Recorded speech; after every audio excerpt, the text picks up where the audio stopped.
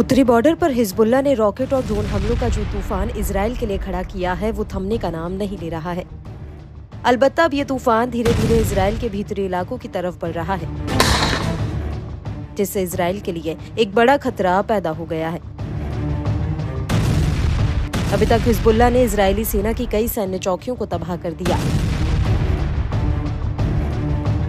यहाँ तक कि आईडीएफ की नई सैन्य चौकियों को बनते ही हिजबुल्ला उन पर हमला कर रहा है।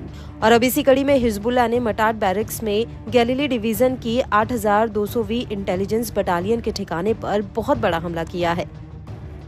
हिजबुल्ला का कहना है कि उसने यहाँ पर रॉकेट प्रोपेल्ड हथियारों से हमला किया है। इसके बाद रुवैसत अल आलम सैन्य चौकी पर भी हिजबुल्ला ने कई राउंड गोला बारूद बरसाया है जिससे ये सैन्य चौकी पूरी तरह से बर्बाद हो चुकी है। और इस हमले के बाद इजरायली सैनिक अल मर्द साइट पर इकट्ठा हो रहे थे, जिन पर शाम करीब चार बजकर चालीस मिनट पर फिर से हमला कर दिया गया।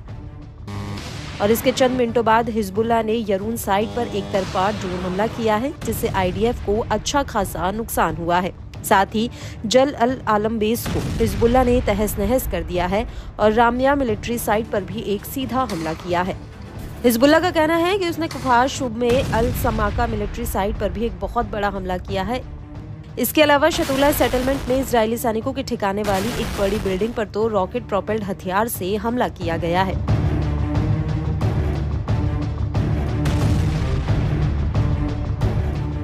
हिजबुल्ला के इन हमलों को लेकर इजरायली सेना का कहना है कि लेबनान से दागी गई एंटी टैंक गाइडेड मिसाइलों से तीन इजरायली घायल हुए हैं, जिसमें एक नागरिक भी शामिल है। आईडीएफ का कहना है कि 1 अगस्त 2024 को हिजबुल्ला ने लेबनान से उत्तरी बॉर्डर पर करीब 30 रॉकेट भी दागे हैं। इसमें एक 10 रॉकेटों का जत्था भी था, जो मिसगाव अम इलाके में आकर गिरा था। इसके अलावा अन्य 20 रॉकेट मतात में जाकर गिरे थे। आईडीएफ का ये भी कहना है कि इस दौरान उसने जवाबी हमले में हिजबुल्ला के आयता अश शहाब और बिंट जबेल में कई लॉन्चरों को तबाह कर दिया है। इसके अलावा बीट लिप तैयबा में हिजबुल्ला के ठिकाने वाली एक बिल्डिंग को भी उड़ा दिया गया है। और आईडीएफ के इन हमलों में हिजबुल्ला के हुसैन मूसावी लड़ाके की भी मौत हो गई है। वहीं दूसरी तरफ़ इसराइल के रक्षा मंत्री योव गैलेंट ने मजदल शम्स इलाके में उस स्कूल का दौरा किया, जिसके प्लेग्राउंड में हिजबुल्ला के एक रॉकेट हमले में करीब बारह बच्चों की मौत हो गई थी।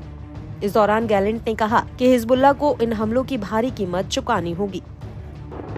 इन सब के बीच हिजबुल्ला के इन हमलों का एक बहुत बड़ा असर भी हुआ है। दरअसल 8,200 यूनिट के प्रमुख ब्रिगेडियर जनरल योसी सराइल ने इस्तीफा दे दिया है। उनके इस्तीफे की जानकारी इजरायली न्यूज़ एजेंसी वल्ला ने दी।